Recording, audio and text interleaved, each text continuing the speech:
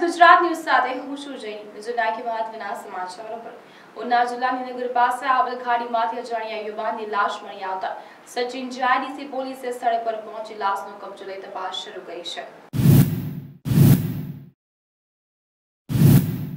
ઉના જિલ્લાની નગર પાસે આવેલ ખાડીમાંથી અજાણ્યા યુવાનની લાશ મળી આવતા સચિન જીઆઈડીસી પોલીસે સ્થળે પહોંચી લાશનો કબજો લઈ તપાસ શરૂ કરી. સ્થળ પરથી ને સચિન જીઆઈડીસી પોલીસ પાસેથી મળતી માહિતી મુજબ વન વિસ્તારમાં આવેલ જિલ્લાની નગર પાસે ખાડીમાંથી બપોરના સમયે અજાણ્યા આશરે ત્રીસથી પાંત્રીસ વર્ષની ઉંમરના યુવાનની લાશ મળી આવી હતી. જે અંગે પોલીસને જાણ કરાતા તાત્કાલિક સચિન જીઆઈડીસી પોલીસનો કાફલો સ્થળે પહોંચી ગયો હતો. તો પોલીસને સાર્વજનિક ટ્રસ્ટના યુવાનોએ ખાડીમાંથી અજાણ્યા યુવાનની લાશને બહાર કાઢી પોલીસને સોંપતા પોલીસે લાશનો કબજો લઈ પોસ્ટમોર્ટમ અર્થે ખસેડી હતી અને મૃતકની ઓળખ શરૂ કરી છે.